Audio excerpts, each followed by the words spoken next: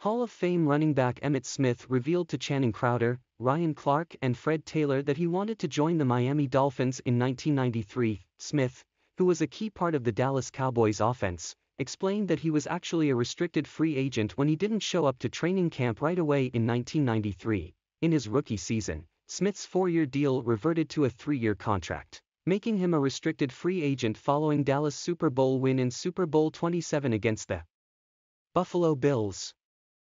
I didn't hold out, Smith said. Holding out is when you have a contract and you want more money. My contract was over.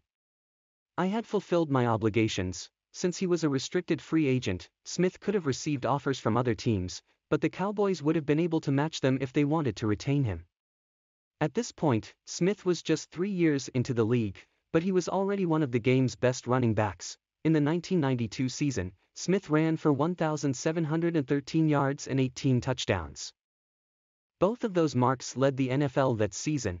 Shockingly, Smith didn't get a single offer in restricted free agency, I get into restricted free agency, Smith said.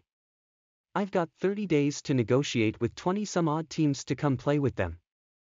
And not one gave me an offer. It's possible that all of those teams knew that the Cowboys and owner Jerry Jones would have matched any offer for Smith, but it's shocking that nobody even wanted to take a chance. Because of that, Smith, who played collegiately at the University of Florida, took matters into his own hands and called then Miami head coach Don Shula.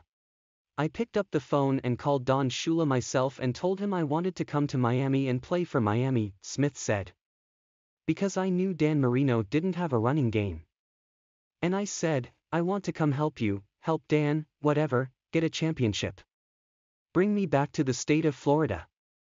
He said, Well, I don't know if I can make that offer, because if I do make this offer and you don't come, all my other players will see what I put on the table for you, and it's going to mess up my chemistry. I said, just put something on the table that Jerry says, I cannot match it. He said, I can't do that. Eventually, Smith would end up in Dallas, but not after he missed the team's first two games of the 1993 season. The Cowboys lost both of those matchups, and they decided to bring Smith back on a new deal. The Hall of Fame running back remained in Dallas through the 2002 season, cementing himself as one of the greatest players not only in franchise history, but in the history of the NFL. During his storied career, Smith made eight Pro Bowls and won three Super Bowls. In the 1993 campaign, he was named the league's MVP, rushing for 1,486 yards and 9 scores in just 14 games. Smith finished his career with the Arizona Cardinals, playing the 2003 and 2004 seasons with the franchise. For Dolphins fans, it has to hurt to know that Smith wanted to play for Miami, but the team was unwilling to give him the offer he was asking for.